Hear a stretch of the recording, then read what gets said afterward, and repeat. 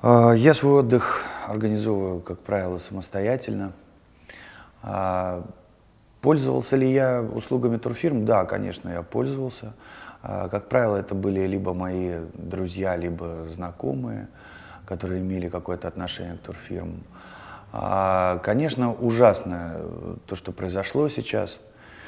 Хотелось бы, чтобы те органы, которые должны контролировать турфирмы, работали более детально.